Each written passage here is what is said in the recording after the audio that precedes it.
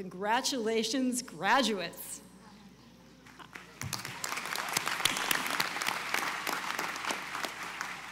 I can't tell you how honored I am to be here with you today to celebrate your accomplishments along with my fellow honorands, President Spencer, and the Bates College leadership, faculty, families, and friends. We honor your achievements today, achievements that offer a hope for the future in which knowledge and the search for understanding will play a central role. You all have spent the past few years engaged in work that has involved, at times I suspect, too little sleep, too much caffeine, a willingness to carry on despite the disappointment of a failed project or experiment, or doubts about your own place in this complex world. Maybe at times you have wondered about dedicating oneself to a chosen field or questioned your career choice, thought about other paths in life, the proverbial roads diverging in a wood. Your own perseverance, sheer stubbornness, and very importantly, the support of mentors, classmates, partners, family, and friends, and maybe pets and hobbies has led you to this moment of celebration and reflection on your accomplishments. I salute you. At such moments of celebration, we naturally reflect on how we got to this point and where we're headed from here. As I was thinking about what I wanted to say to you all today, I was reminded of something I hadn't thought about in a long time my first public speaking experience. I was in the eighth grade, and as part of our end of year assignments in English class, each student had to present a poem to the class. I chose Robert Frost's The Road Not Taken, which seemed fitting since we were about to graduate middle school and had to make big choices like what to wear to the upcoming eighth grade dance and whether to sign up for archery or tennis lessons during summer school. My English professor father helped me practice my delivery and my cadence, and I spent hours, at least it felt like hours, in front of my bathroom mirror reciting the poem from memory. But when the day of the presentation came, and I found myself standing in front of my 30 odd classmates to deliver the poem, I couldn't get a single word out.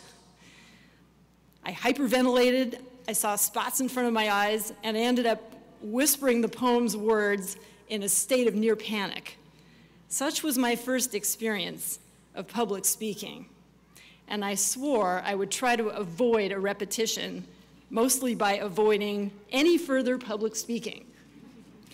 Clearly, that hasn't quite worked out for me. But over time, I came to see that instead of avoiding challenges, it's much better to meet them head on and I wanted to share with you three specific thoughts about facing challenges and, and making choices that encompass much of my experience in science and in my life over the last few decades. The first is to trust yourself. I feel lucky that I arrived at a love of chemistry early in life and largely catalyzed by a wonderful high school chemistry teacher, Miss Wong, um, and I got inspired by other teachers at my public high school in Hilo, Hawaii, as well as the fascinating island environment of rural Hawaii where I grew up. And in fact, I remember one night uh, near the end of my senior year in high school, I was out with a friend and we got to talking about what we wanted to do when we grew up. And I sort of said flippantly, I want to be a scientist sounded really exotic to me, but I really hadn't the faintest clue what this would involve. My friend said, I want to run a brew pub. He had a much better idea of what that would involve, certainly with regard to the brew. Our lives took different paths, but he ended up as an award-winning craft brewmaster, and I ended up a scientist. So sometimes those very early dreams and ideas can actually come true. But of course, there were many, many bumps in my road. When I got to college, I struggled with general chemistry in my freshman year, and I found myself wondering whether I actually had what it would take to become a halfway decent biochemist. Discouraged after a poor performance on a chemistry exam, I went to see my beloved French teacher to ask about switching my major. What's your current major, she asked me. Chemistry, I replied. When she asked why, I described my fascination with molecules and my intense interest in figuring out how chemical properties get, govern the way living systems evolve. Without skipping a beat, she said, oh, you should stick with chemistry. And I knew in my heart she was right. That was just the first of many times when, in the face of self-doubt and setbacks, I had to trust myself, and I also had to find people, supporters, who would help me get through those difficult moments. When I decided to study chemistry in college and then to pursue a PhD in biological chemistry, this was actually in the days before uh, chemical biology had been invented, it was biochemistry, my grandfather questioned my interest. What exactly is biochem, he wanted to know, and why aren't you studying to become a real doctor?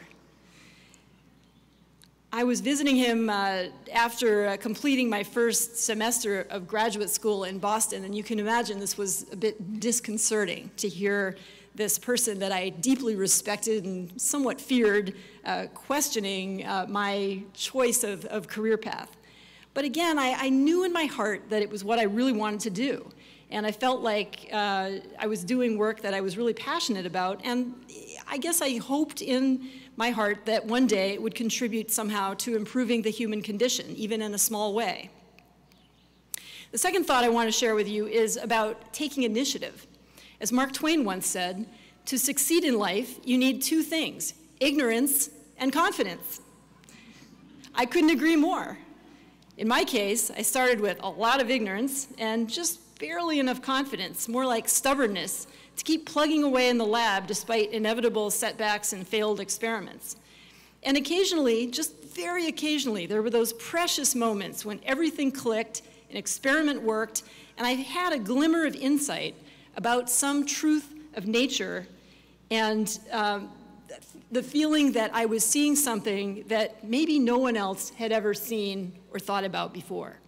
Those moments kept me going as a student and they continue to keep me going as a practicing scientist today.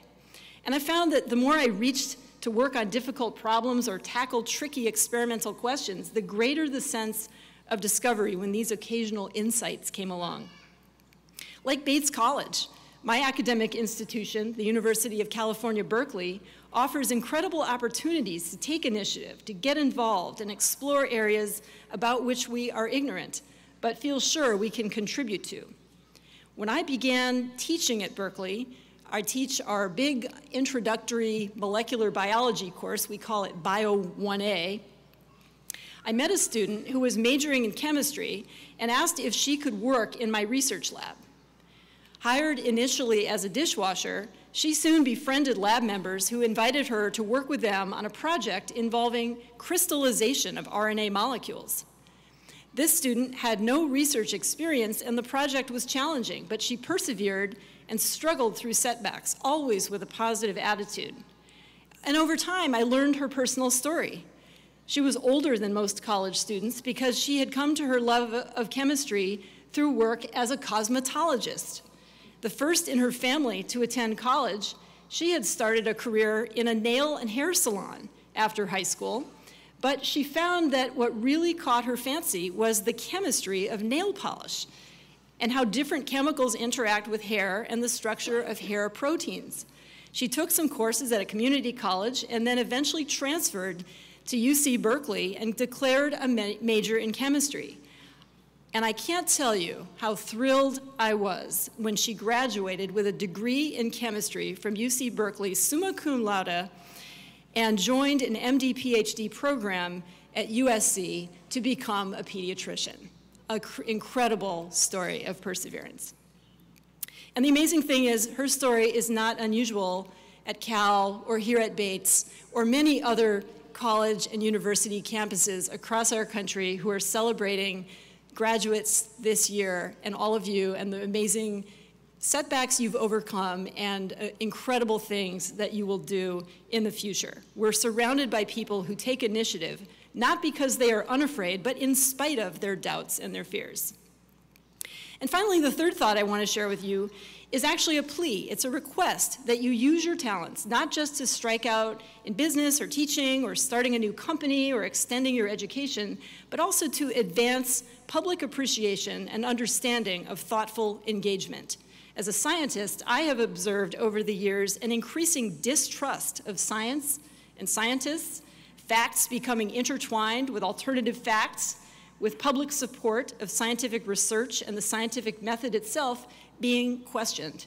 And I feel that at least some of the responsibility for this state of affairs lies with those of us who are scientists. For too long, we have focused our attention single-mindedly on our lab work and sharing the results of our research with like-minded colleagues. I urge each of you to step outside of narrow definition of a scientist or whatever your chosen specialty and focus in life may be, and to get involved in the broader national and international discourse about topics that you care deeply about. We must rebuild public trust in our work, and we must explain to our fellow citizens why our work matters, not just to public, publish a next academic article or make the next advance in our field, but to truly advance human knowledge and to improve the human condition and to solve practical problems like discovering new antibiotics, understanding how Alzheimer's disease develops, and developing new materials for energy conversion and storage. In my own work, I've had to step up to the proverbial plate by getting involved in discussions about the ethics of genome editing, stemming from research that I conducted with my collaborator Emmanuelle Charpentier and my other colleagues at UC Berkeley, and with an international team of collaborators. Again and again, I've been inspired by my students and my colleagues and the community of people who support science. And I think often of my father, with whom I had a sometimes difficult relationship, but could always count on him to inquire about my work in the lab. And he would really want to know. We would discuss questions I was trying to answer and what my graduate research on the evolution of life meant for understanding our world and humans' place in it. Many years later, when faced with the profound implications of my own research on genome editing, it was Dad's deep value of science and scientists that helped me take important steps to convene a global community of researchers to speak up for responsible progress in the face of rapidly moving technology. So as you all embark on your journey forward today, I encourage you to trust yourself, even in the face of the doubts of others or yourself. Take the initiative even when it would be easier to stay on the sidelines. And get involved as spokespeople for the importance of knowledge and the facts in making our world a better place for all. Congratulations, graduates. Enjoy some well-deserved celebrations with family and friends, and go Bobcats.